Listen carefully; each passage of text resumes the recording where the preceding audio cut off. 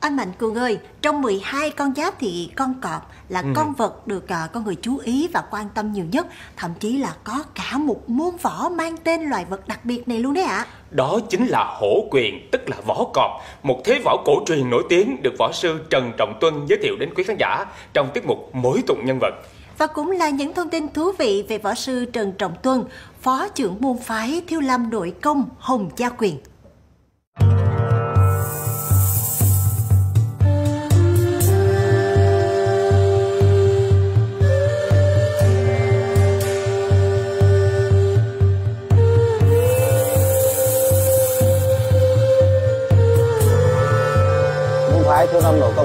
Quyền thì được cụ tổ tên là nguyễn mạnh đức à, ngoại hiệu là nam hải trơn nhơn tôi tên là trần trọng tuân. À, tôi à, đến với môn phái thiếu lâm nội công hồng gia quyền từ năm 1986 và liên tục từ năm 86 đến nay chúng tôi à, vẫn tập luyện ở môn phái hồng gia quyền. Và đến à, thời điểm này thì tôi đã được à, sư phụ trao cho mức đai cao nhất là bạch đai để đội ngũ là bật đai 5 chấm. Và mới đây tôi mới được uh, ban trưởng môn uh, đề xuất đề cử tôi là phó trưởng môn bộ môn thiếu lâm nội công hồng gia quyền.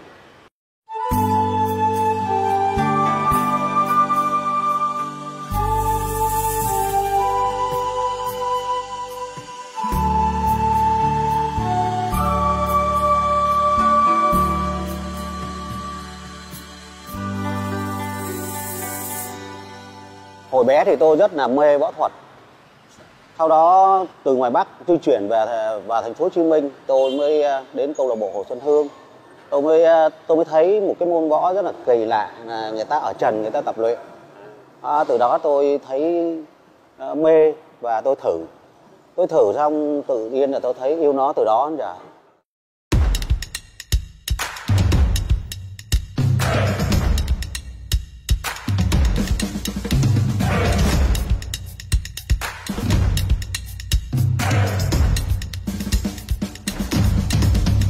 Học viên của Hồng Gia Quyền là khi mà đã, khi mà đã tập đầy đủ 20 năm đơn nội công, ba bộ, thì các bạn có thể tự đi những bài quyền mà theo ý mình, hoặc là tự ra những cái đòn thế ở trong những cái đơn đó, bộ đó để cho mình thực hiện trong trong chiến đấu hoặc là trong dưỡng sinh. Môn phái chúng tôi không phải là môn phái để đi đấu đài, không có ừ, nhưng mà môn phái chúng tôi là chủ yếu là rèn luyện sức khỏe theo như tổ sư sáng lập cho môn phái thì muốn đưa cái cái tinh hoa của võ mà cụ đã đã đã tập luyện được mang về cho những người dân Việt Nam để uh, tập luyện để khỏe mạnh.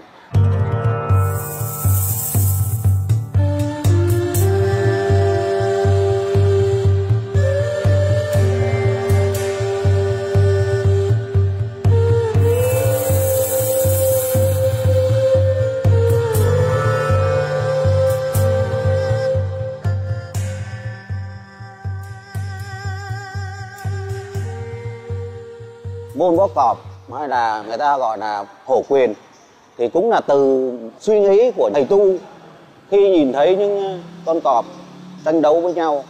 Và họ mới nghĩ ra những cái cái thế đó vận dụng vào trong trong những cái bài quyền, những cái động tác để chiến đấu.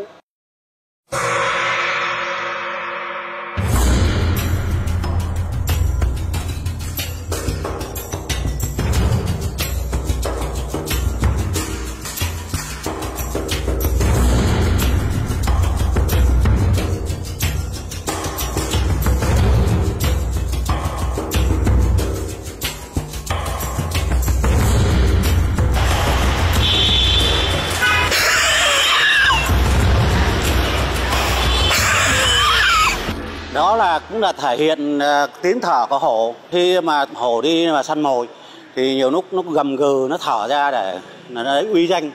Người ta hình tượng ra cái móng móng hổ. Khi mà nó chụp vô thì nó xiết vô, nó cào xé con mồi. Đó là trong những cái bài tập. Đây là gọi là hổ trào.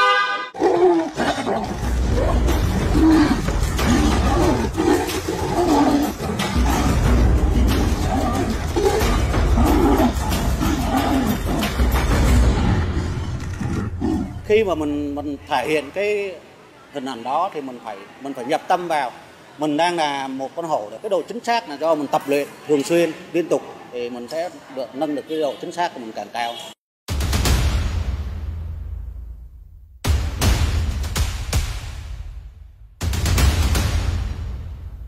À, thực ra thì trong võ thuật nói chung à, thì là phòng thủ là một cách để làm sao mình để mình tấn công nó tốt nhất à, cho nó thuận tiện nhất. Đó là cái thế để cho mình vừa à, đỡ được những cái đòn của đối thủ đi ra.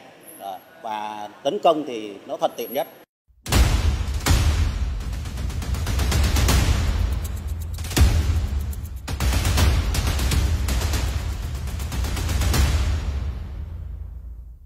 Thiếu lâm hồng gia quyền thì mình ngoài phòng thân hộ thể mình có thể là thực chiến mình tự bảo vệ bản thân mình ví dụ như ờ, khi mà có trường hợp mà một đối thủ nào đó tới tấn công bất ngờ thì mình có thể dùng thế của con hổ và mình phá giải những đòn thế đó.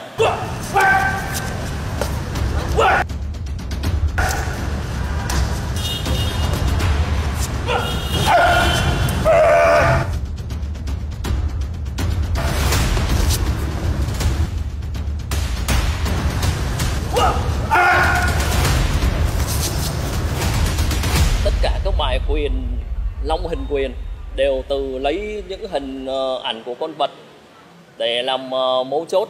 Thì cái sức mạnh của con hổ là vồ mồi là nó là chúa sơn lâm. Thế nên sức mạnh của con hổ ờ, rất là mãnh liệt trong tự nhiên. Cho nên lấy cái ngoại quyền đó thì mình cũng hòa nhập vô một cái phần nào mãnh liệt của con hổ. Mình thi triển nó. Có được nội lực như thế này là do tập luyện thường xuyên, đôn bộ nội công của hồng gia quyền.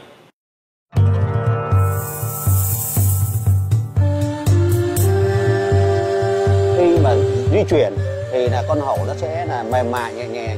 Nhưng mà khi nó vồ mồ thì nó rất là dũng mãnh.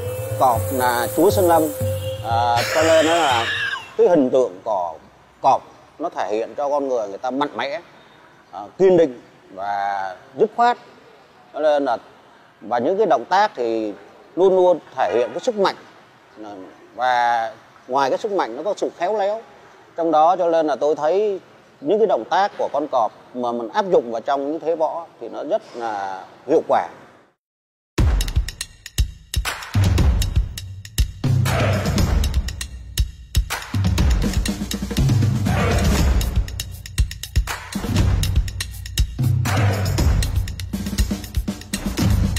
Năm con cọp tôi cũng ờ, xin được gửi lời chúc đến ờ, toàn thể quý ờ, võ sinh, quý phụ huynh và toàn thể mọi người à, một được một năm à, 2022 một năm nhâm dần. Thật là nhiều hạnh phúc thật là nhiều ừ, sức khỏe. Chúng ta sẽ mạnh mẽ hơn để vượt qua tất cả những mọi khó khăn ở phía trước.